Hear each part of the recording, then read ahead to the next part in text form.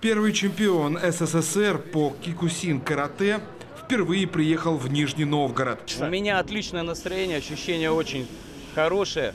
Чувствую город, слияние двух рек, здесь энергия очень мощная, так что хочу э, сказать, что уже люблю этот Я город. же понимаю, что вы давно в городе-то не были, в нашем-то. Да, я практически здесь не был, только проездом.